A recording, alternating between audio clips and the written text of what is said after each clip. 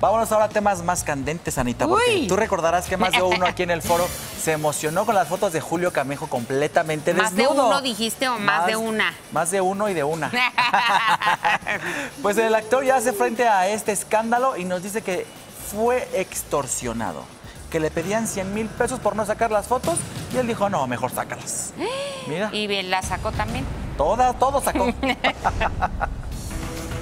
Julio Camejo por fin dio declaración sobre las fotografías que se filtraron en internet, mostrándolo como Dios lo trajo al mundo. ¿Qué te digo? Que no me gustaba que se, que se hubiera filtrado. Pues sí, son fotos que son mías. Que me afecta en lo, en lo personal o en lo moral. No, así soy. Al que Dios se lo da, San Pedro se lo bendiga y hay que estar conforme con lo que uno tiene y aceptarse tal cual como es. Por lo demás, vergüenza es robar, volverlo a hacer y que te, y que te agarre. Vergüenza es robarse el presupuesto de la nación. Vergüenza es robarse un Estado. Vergüenza es estarse paseando en Inglaterra después de haber dejado el país en crisis. Eso es vergüenza. Que te tomen una foto desnudo o que con tu mujer. Ya, ya, ya, no empieces con...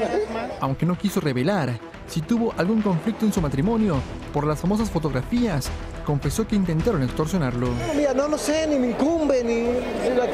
Como le dije a la persona que me habló, no voy a comer extorsión. No... Sí, me pidieron 100 mil pesos y evidentemente les dije que, que yo no comía ni extorsión ni miedo.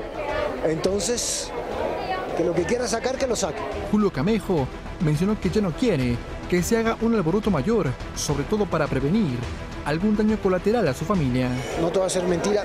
No lo denuncié porque no quiero hacerlo más grande de lo que, de lo que fue, porque tengo una hija que va a la escuela y desafortunadamente ya, ya me tengo que ir. Todos los días sale el sol. Flayo Machuca.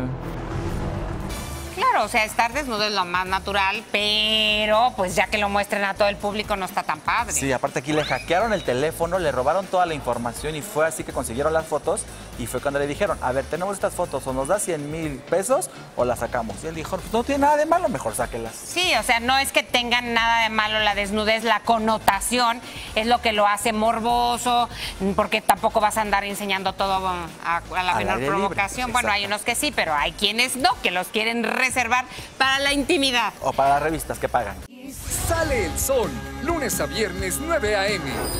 Participa en Imagen Televisión.